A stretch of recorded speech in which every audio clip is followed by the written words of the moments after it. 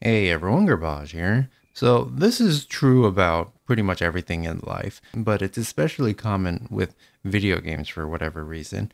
It doesn't matter what game it is, what genre, what company made it.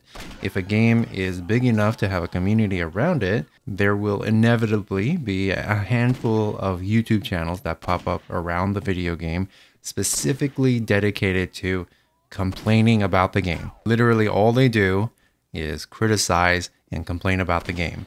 And you know what I'm talking about. If you are a part of any video game community, then you've seen these channels before. And I won't begrudge them for that. They've managed to find a way to make some money playing video games. And in fact, some of them do very well for themselves.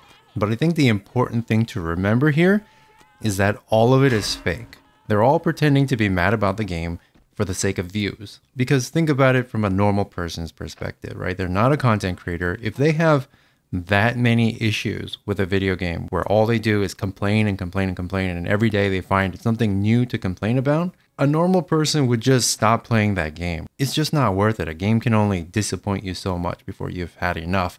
But these people, they can't stop because it's literally their job. And so they have to lie and they have to exaggerate problems and they have to pretend like they are angry about something even if they're not. And it's not a job for everybody. I know I can't do it. A little while back, I was starting to kind of dabble into professional complainer territory, but I really didn't like the kind of person I was becoming because of it. And so I stopped because I couldn't take it anymore. I just did not have enough things to complain about where I actually believed what I was talking about. And generally on this channel, I avoid criticizing other content creators on the internet, and that will not change today.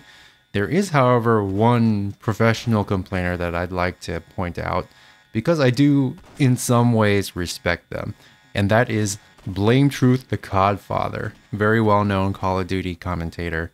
Definitely is a professional complainer. That's like his main content. And the reason why I have respect for him is because he's honest about it. He has admitted on multiple occasions that he's playing up a character, an angry character, for the sake of his career. It's not real. He doesn't actually hate games that much, but that's the kind of thing his audience wants, and so he plays it up to the max. I don't know how he does it. I don't know how he can feel comfortable with himself about it, but he makes it work and it works for him.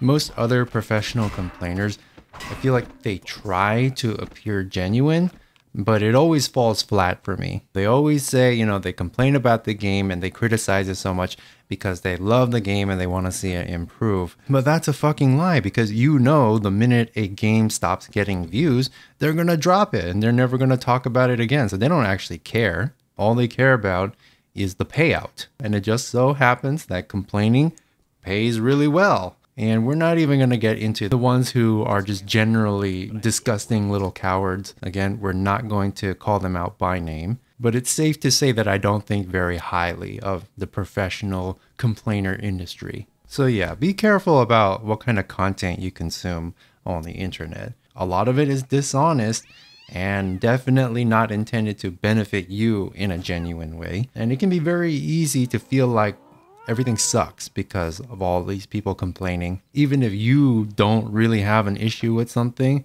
you might come to believe that you have an issue with it because you've got all of these grifters complaining and complaining about it. And I feel like your time is better spent consuming better types of content in general. But yeah, that's all I got.